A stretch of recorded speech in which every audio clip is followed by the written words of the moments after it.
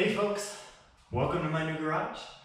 Join with me as I build this into a little workshop and a place to store my boat. There's not a lot of room. I'm just gonna give you a quick little tour here.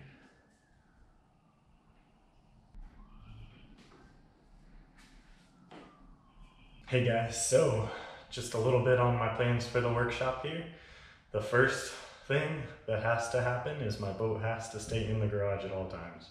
This apartment does not allow boats to be parked in parking spots, they'll tow them. So boat has to stay in the garage.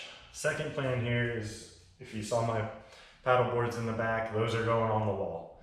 They're gonna go high up on one of the walls that I'm not gonna use as a workbench space and get them out of the way pretty quick here. And the same with the bike. The bike is going up on a wall somewhere. Uh, I've still got to get a mount for that. I'm not not entirely sure how I'm gonna do that yet, but that'll be put up on a wall out of the way too. The boat itself is shoved as far over as I can get it to maximize space for a workbench that I'm gonna build. I'm gonna build a little workbench along this wall here. Just something skinny, maybe longer, somewhere to put my tools up along the wall and a little workspace to work on. And then in this corner over here to my left, probably be putting a shelf behind the door since that's pretty much unusable space anyway. So join with me and let's see if I can build a workbench and make this little garage work as a little workspace. Out on my screen and porch here, I do also have a little storage space that has already allowed me to store some of the stuff I won't be using as often.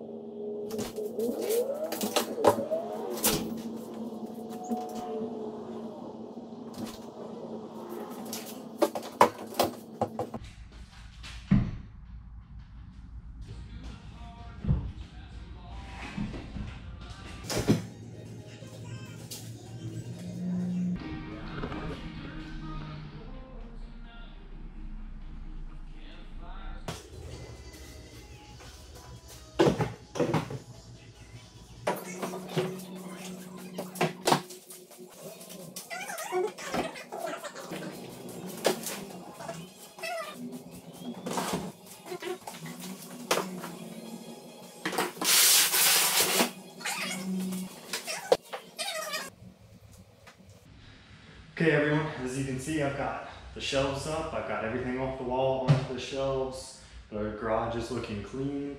The next step is to get the paddle boards on the wall, I'm gonna get the bike on the wall, and then I can start on the workbench build. So join me for part two. I hope you enjoyed this video and thanks for watching.